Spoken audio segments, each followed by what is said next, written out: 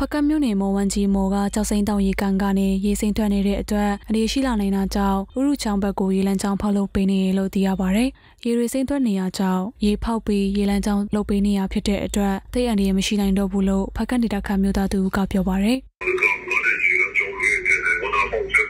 ပေါက်ထွက်တာဆိုရင်ဆုံးရှုံးနေတာမှုအယမ်းများမယ်ကျွန်တော်တို့ကအဲ့ဒါကိုစိုးရင်တဲ့အတွက်ရေလမ်းကြောင်းကိုလူသိမ့်မနေတဲ့ဘက်ဥရုခဘက်ထဲတာပေါ့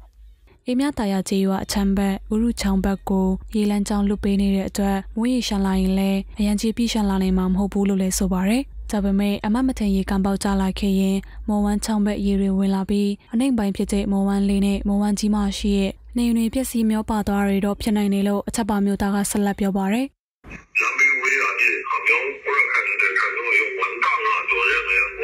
ချောင်းရဲ့ဘယ်ညာမှာလူနေအိမ်တွေရှိတယ် ကယ်လို့ပေါက်ထွက်ခဲ့ရင်စိမ့်ထွက်ပြီးသူ့ဟာသူပောက်ကွဲလိုက်ရင်မော်ဝမ်ဘက်ကအများပိုင်းအန်တရယ်များမယ်အိမ်တွေဖုံးသွားနိုင်တယ်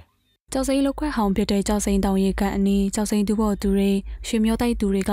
စွန့်ပစ်မေးစာတွေပြစ်ထင်းနေတဲ့အတွက်အခုလိုရေတွေရှမ်းရေတွေစိမ့်ထွက်လာတယ်လို့သိရပါတယ်။ရေကန်ကရေကိုဖောက်ထုတ်လိုက်တာမဟုတ်ပဲရေလမ်းကြောင်းဖောက်လိုက်တဲ့အတွက်မိုးရေတွေပြေးလာရင်တော့မရှမ်းတော့ဘူးလို့နောက်ထပ်ဖက်ကန်ဒေတာကမျိုးသားသူကပြောပါတယ်။ ကြောက်စိန်တောင်ရေကန်မှာရေမစီကြောက်ရှာဖွေသူတွေမကြာခဏမြေပြိုရင်းနေသိဆုံးမှုတွေဖြစ်ပေါ်လေရှိရာဖြစ်ပြီးရေကန်ဟာငါးနှစ်နီးပါးသက်တမ်းရှိပြီလို့လည်းသိရပါတယ်။ဖကန်ကျောက်စိန်တွင်ဒေတာမှာနုန်ကန်တဲ့ရေကန်ပေါက်ကျမှုတွေမကြာခဏဖြစ်ပေါ်လေရှိပြီးပြီးခဲ့တဲ့ဩဂုတ်လ23ရက်နေ့ကဖကတ်မြို့မနာမော်မှာမြေစာပုံပြိုကျခဲ့တဲ့အတွက်အောက်မှာရှိတဲ့ရေကန်အနီးကရေမစေးကြောက်ရှောက်ဖွေသူ30ကျော်မျောပါတည်ဆုံခဲ့ပါတယ်